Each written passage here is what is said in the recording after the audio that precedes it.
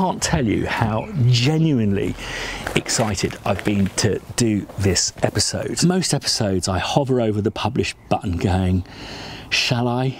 Shall I do it? Today is different because I feel and this is rare for me, fully qualified to share my feelings with you, and I hope it's of help to you. I'm a Willie, which means I work in London, live in Edinburgh, and this means I travel a lot. I divide my time between being a salesperson ostensibly for Spitfire Audio and being a media composer, film, TV, and occasionally the odd game. And can safely say in the last three years, I've written four entire TV series on the go. So that's business lounges, hotel bars, hotel rooms, and a lot of time on planes and trains. And these TV series vary from epic, sprawling period dramas to comedies to contemporary pieces. So I've really been putting my portable rigs through their paces, not to mention all of the seminars that I conduct in front of, say, 300 people with lots of Kontakts running, sequences, whilst also screen sharing onto big 4K projectors,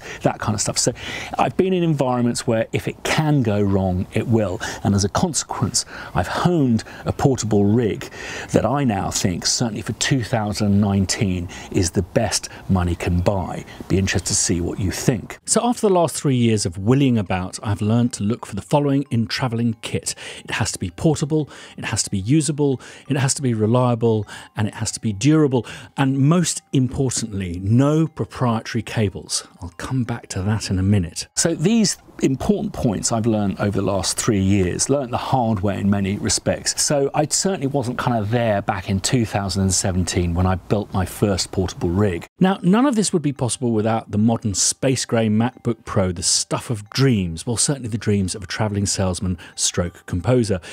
The unit that I was using back in 2017 was this one. It's a 2017 Core i7 3.1 gigahertz with 16 gigabytes of memory.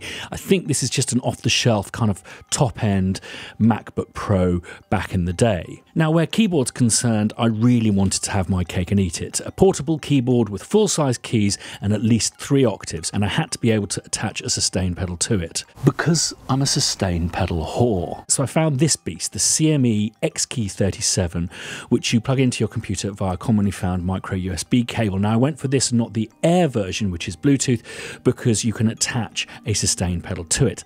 However, in order to connect the sustain pedal, you have to attach a proprietary cable. When you travel, you have to accept that you will lose things. Hopefully, some things more than others. USB C cables, I've left a, a, a, trail of those around the planet.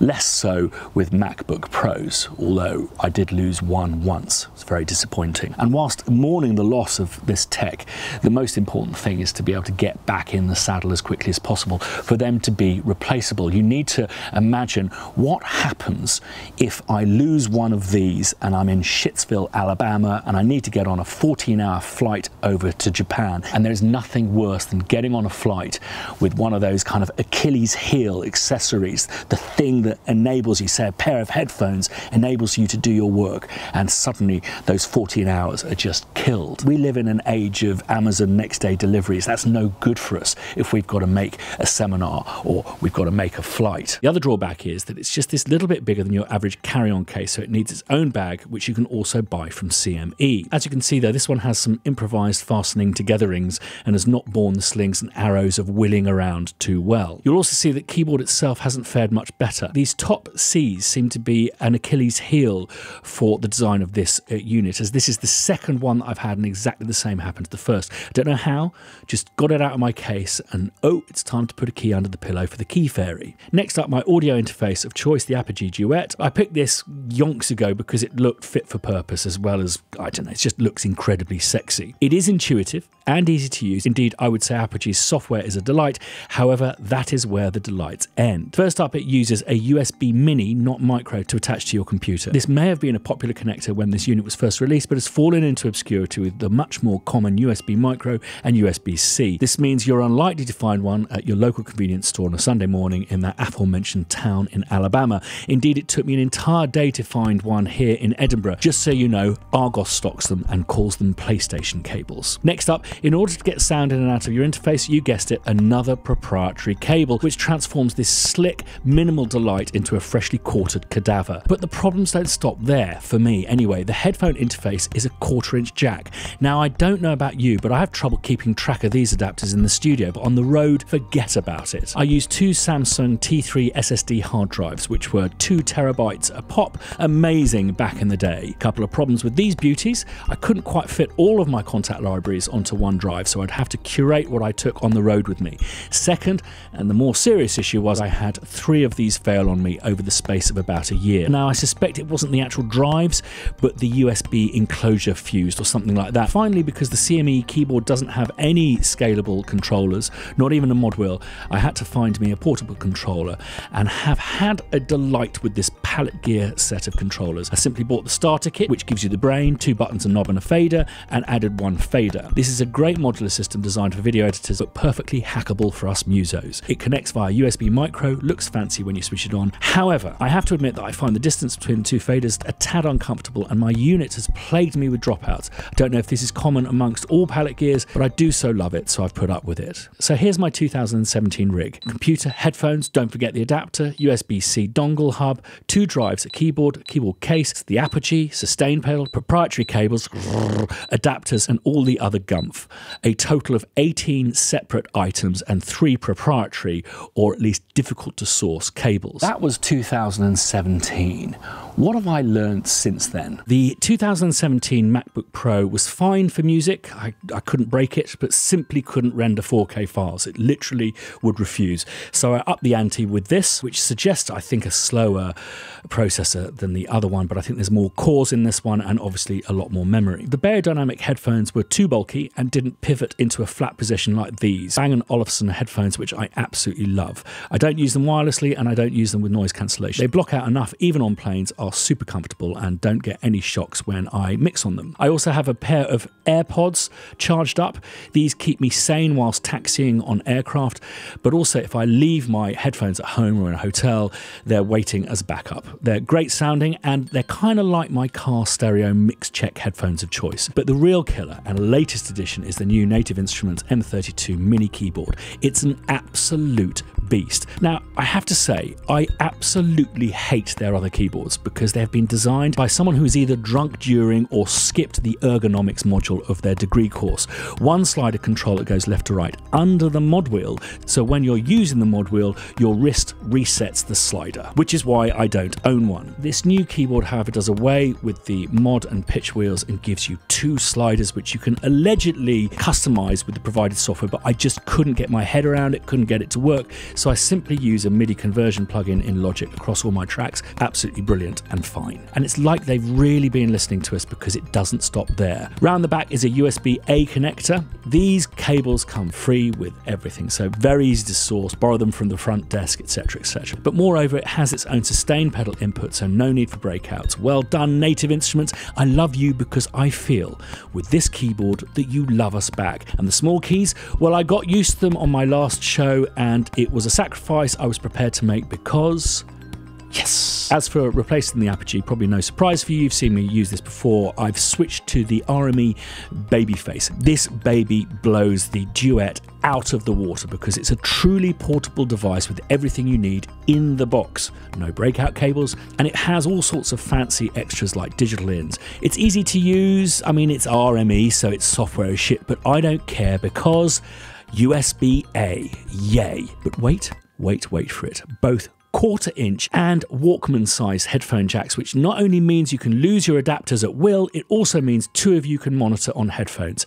Apogee, Huet. I did away with the T3 hard drives and simply spent $30 on a USB C hard drive enclosure for my Kontakts sample drive, which I simply yank out of my Blackmagic SSD dock. This ensures total fluidity between my rigs. This enclosure feels shit, but it is the most reliable one I have tried out of about half a dozen. I also use a portable basic spinning drive for my EXS samples, mainly because of cost. This is all I need and it does the job, and I'll take you through the workflow later. But you may be surprised to find out that the true star of the show is this little beauty, that it was actually something that Paul Thompson found for me. It's called the Hyperdrive Duo Hub for USB-C MacBook Pro. I'll try and link it below if it's still available. This thing has been tested under the most kind of brutal of circumstances. So it takes two USB slots, so she is powered, but it gives them right back here along with an SD, a micro SD reader, two standard USB A slots, and then you beauty, an HDMI slot. So I've been running this, as I say, in, under stressful conditions. I've had two drives, RME Babyface. I've had the actually one of the really big native instrument keyboards.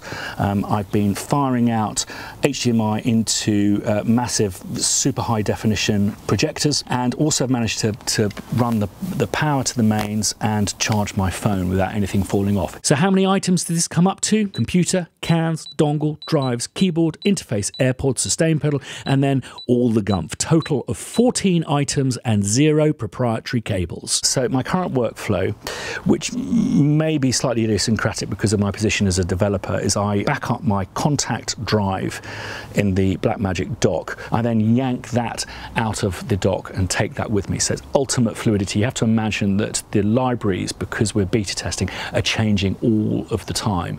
So it needs to be 100% fluid. Whatever I'm programming on my computer here in the shed has to be immediately transferable to my laptop. My EXS samples, uh, I basically kind of copy them onto this spinning portable uh, USB drive. I think I lost an expensive SSD and uh, didn't bother replacing it because this thing was like $50 and it, it does, does the work. And I have the sample instruments folders in both computers actually as a Dropbox proxy. So those automatically synchronized because for me I'm I'm an EXS programmer so these are the things that are most likely to change. So again ensuring fluidity. I store all my movies and all of the logic sessions and all of my Pro Tools sessions on the host drive in the computer because these are SSDs these days. You don't need to worry about wearing out spinning drives.